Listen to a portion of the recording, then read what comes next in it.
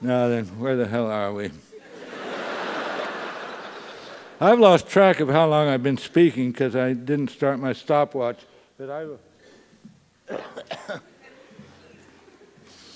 uh, I have had a technical education, and uh, but every time I've every time I've been in, on a faculty, I've been in the English department, although I've never been an English major, and I have tried to bring scientific thinking to uh, literary criticism, and there's been very little gratitude for this.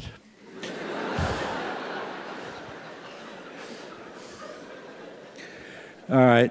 Uh, stories have very simple shapes, ones that computers can understand.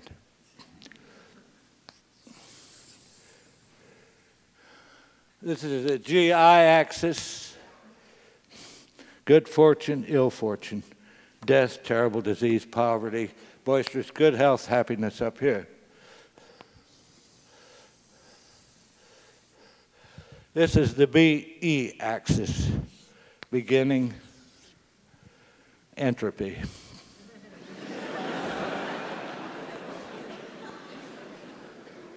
now then, I'll give you a marketing tip.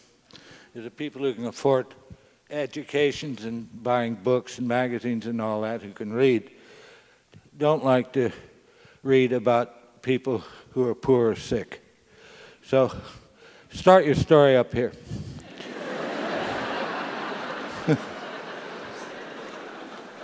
now, the simplest story, and if you stay home and watch this on television, uh, you'll see, it'll be told again and again and again. Nobody, every, every, nobody ever gets tired of this story. I call it Man in a Hole, but it needn't be about a man in a hole. Somebody gets into trouble, gets out of it again.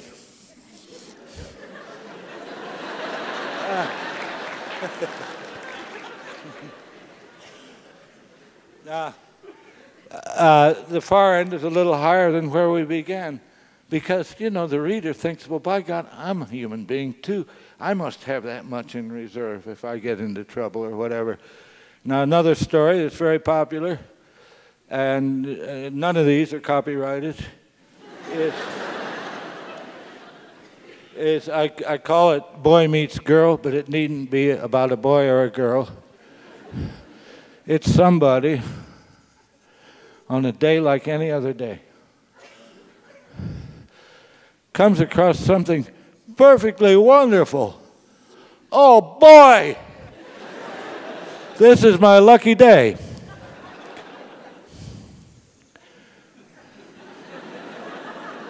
Shit. Eh.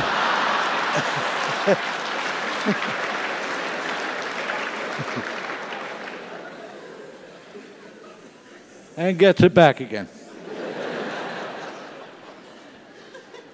now, as has been said, is I, I have a master's degree in anthropology from the University of Chicago. So does Saul Bellow. I say, I don't know what you want to make of that.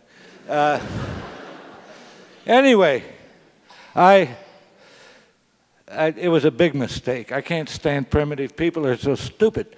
But, but anyway,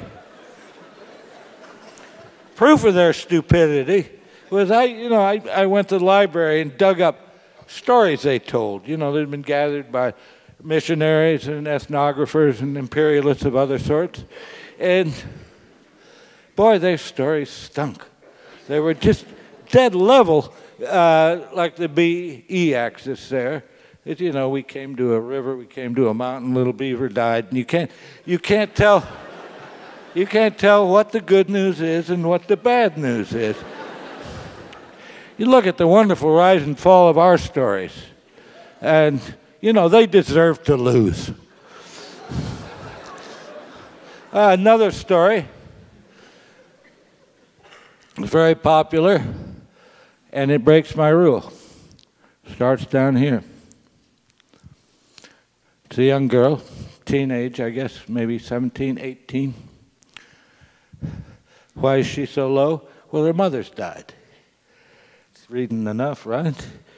And her father has remarried almost immediately to a terrible old battle axe with two mean daughters. And there's a party at the palace that night.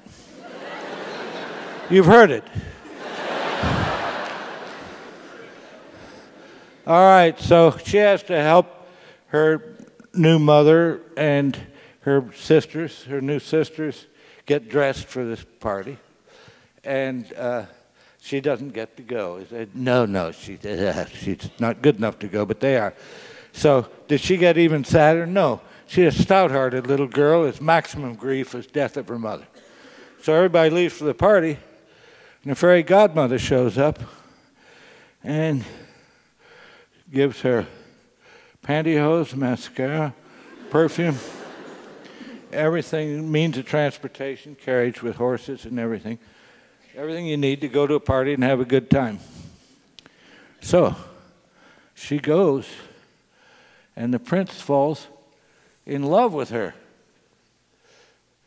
Now you must realize she is so heavily made up that her own relatives don't recognize her.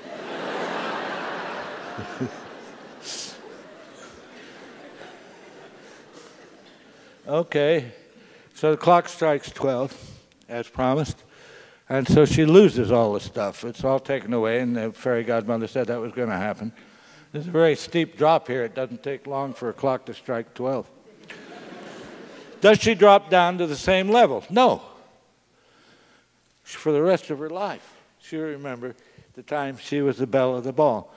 So she poops along at this considerably improved uh, level until the shoe fits and she becomes off scale happy. now, there's a Franz Kafka story. Very pessimistic. Starts down here. There's this rather unattractive, not particularly nice looking, not very personable young man uh, who has a really lousy job and disagreeable relatives. And uh, so it's time for him to go to work again. And he has turned into a cockroach.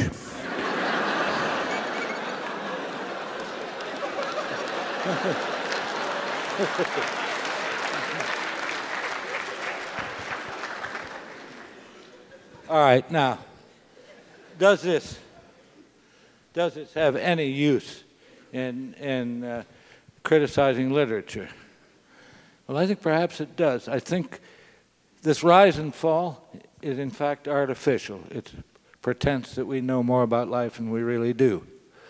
And uh, what's perhaps a true masterpiece cannot be crucified on a cross of this design. Well, all right, Let's try Hamlet, okay? Well, I don't have to draw a new level. The sexes are reversed, but he's in the same situation as Cinderella and a little older. His father has died, and his mother has remarried, his uncle. And so he is depressed as Cinderella. So, he is feeling very unhappy and depressed and everything. And his friend Horatio comes in and says, Hey, Hamlet, there's this thing up on the parapet. I think you better go talk to it. it says it's, your father. And so Hamlet goes up there, and this thing, whatever it is, now we don't know is any of you who've horsed around with Ouija boards or with any sort of uh, seances or anything, you know there are malicious spirits around who are looking for saps like you, who are going to find ways to hurt you, give you very bad advice. So this, to this day, we do not know whether that thing up there on the parapet was really the ghost of his father and whether it was telling him the truth. But the thing said, I'm your father. I was murdered by the man who's now the king, and you've got to avenge me. Well, since we don't know what it was, what it is,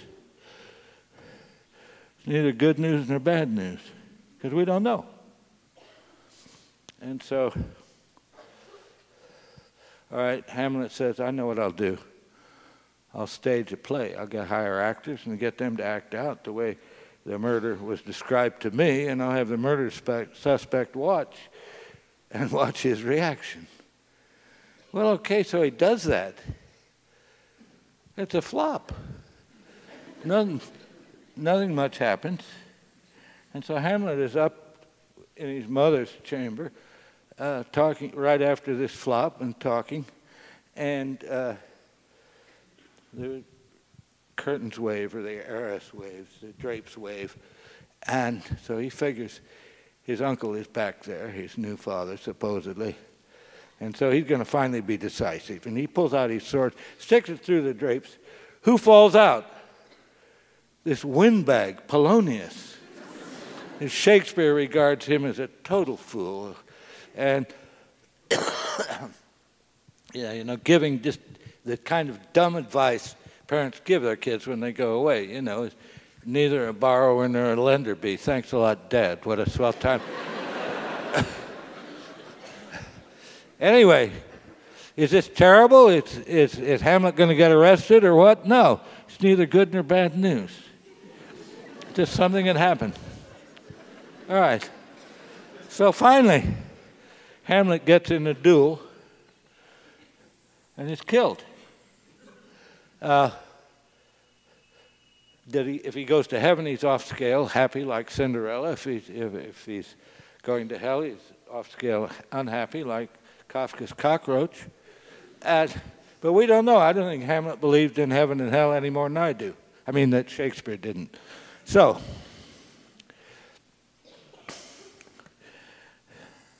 I would just prove to you that Shakespeare was as poor a storyteller as any Arapaho or. but I haven't. I have, in fact, told you why this is respected as a masterpiece we are so seldom told the truth. And Hamlet, in Hamlet, Shakespeare tells us. We don't know enough about life to know what the good news is and the bad news is, and we respond to that. Thank you, Bill. now, if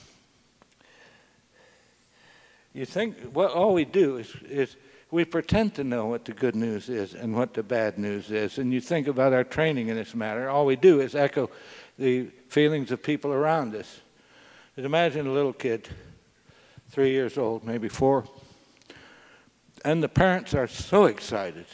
They have the most wonderful piece of news for this kid. And a little kid, oh boy, what can this be? And it's nice. Here's the terrific news, the bombshell. It's your birthday.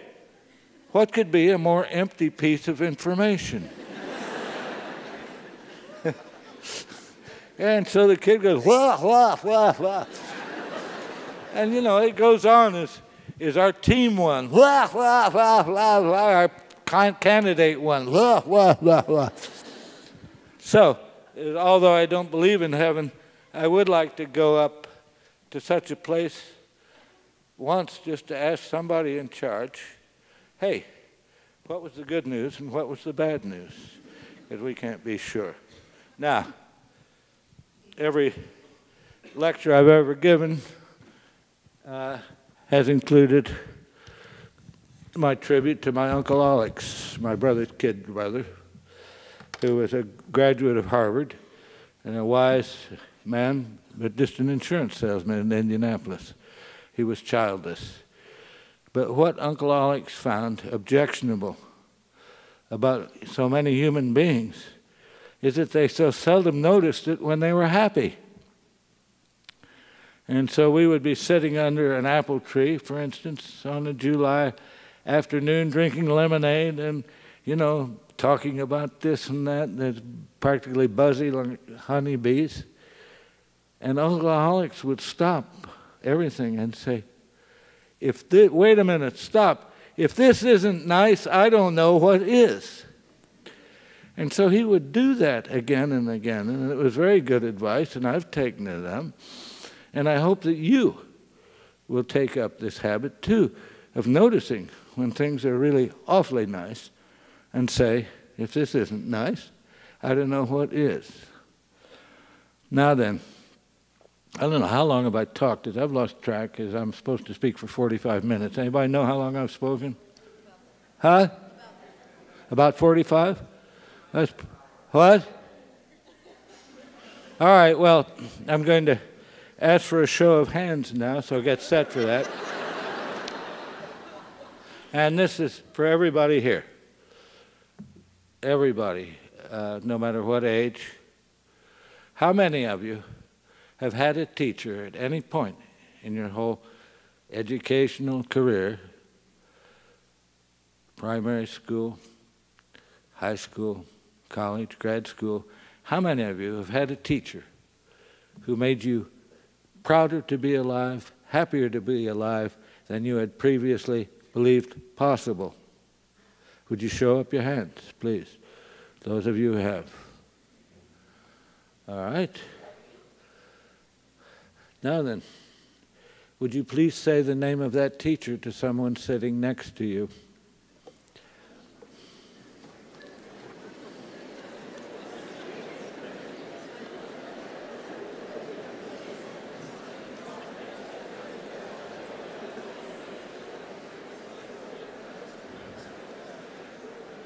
All done? Uh, if this isn't nice, I don't know what is. Music, please.